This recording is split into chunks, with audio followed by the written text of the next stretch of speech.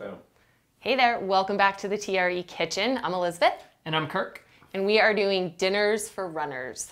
Tonight we have on the menu. Turkey meatballs. All right, tune in. Sorry. We started. I got Oh, that's great. Okay, so we are in the kitchen here. I have the lovely Kirk help us out today Dinner with guys. another another uh, dinner recipe for runners. So it's turkey meatballs. Great. You What do we fan? start with? We start with the potatoes. So this is a really simple, I'm trying to make the meals easy. Um, if you're kind of new to the kitchen and you don't necessarily want to, you know, do food prep or you don't have time for that, easy things. I have all uh, things that I got um, from the freezer, so you have them on hand in case you didn't have time to shop. Cool. So what we're gonna start with are the roasted rainbow potatoes. So All I could have prepared these on my own as well. You could Didn't have. have. to get them frozen. Nope, you could have cut them up. Um, I like a variety, so red potatoes, purple potatoes, white potatoes, whatever. Sweet. Slice them up. You could do them in the oven also. Okay. Um, but again, for today, kind of one skillet meal, we're gonna do that. So put in about half of that package, so about a cup, one to two cups of frozen potatoes. Those will take about, in the stir fry, about 10 minutes or so. So we're gonna get those going. Um, and then while those are cooking, we're gonna talk about a little bit about the meatballs and how to get those going. Okay. All right, guys, step two of the dinner meatballs. Meatballs. So we have here some turkey, frozen turkey meatballs. You can do any kind that you like. I prefer to make mine myself and I'll make a big batch and then freeze them so that I have them ready to go for recipes all week long or if you're doing like a meal prep Monday, um, that way they're Nice. good. You can do turkey, um, bison, ground beef, lentils, veggies Lamb. lamb. Yep, very paleo friendly lamb meatballs. Um, so yeah, yeah, I, I used to prepare these all the time for myself because there was gluten in most uh, prepackaged meatballs. So if you are someone that has a tough time with gluten, be sure that you pay attention to that so that you can prep accordingly. Um, my favorite recipe that I used to do was just uh, beef and garlic and rosemary, and that was it. It's pretty simple. there you go. Simple as that. All right, so these are gonna go in the microwave for about four minutes. All right, step three, we gotta add some veggies. I'm a big fan of veg. You don't like broccoli? I'm kidding. Okay, good. Phew. All right, so next up, again, if you have fresh, that's fine, but we're, for the recipe, we're using frozen broccoli. So we're gonna add those to the potatoes. Uh, the potatoes, the last like maybe five minutes or so, so that we get the broccoli So they're Going. not fully cooked yet. We're not just- fully cooked yet. Broccoli doesn't take quite as long. No, not at all. Nothing worse than soggy broccoli.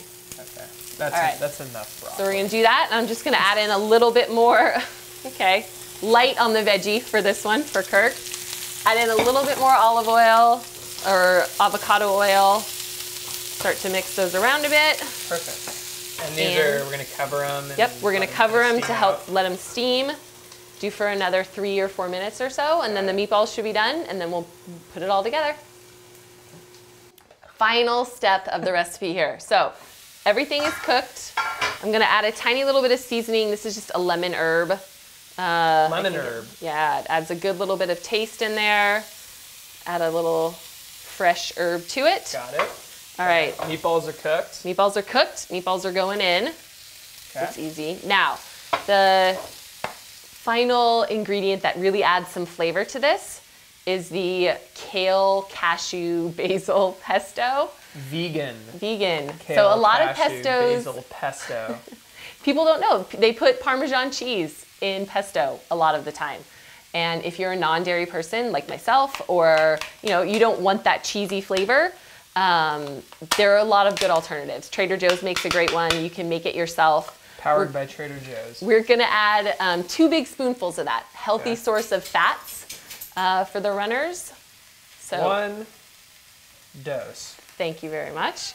And then we're just gonna mix that around, make sure it's all heated, that all the That's okay. meatball down. Everything's Nice. cooked back in, uh, mixed together, and then we're ready to plate it up. Sweet. Let's do this. All right, so everything is cooked up, uh, mixed together. You ready to eat? You have Sounds an good. appetite? Yes. Yeah. All right, so we're just gonna plate this up here. I don't want it to Oh, uh, fall. So again, it's a mix of broccoli, potatoes, uh, That's enough. turkey meatballs, and some pesto. All right. Now, I am eating my broccoli, but it's just because Elizabeth is asking me to.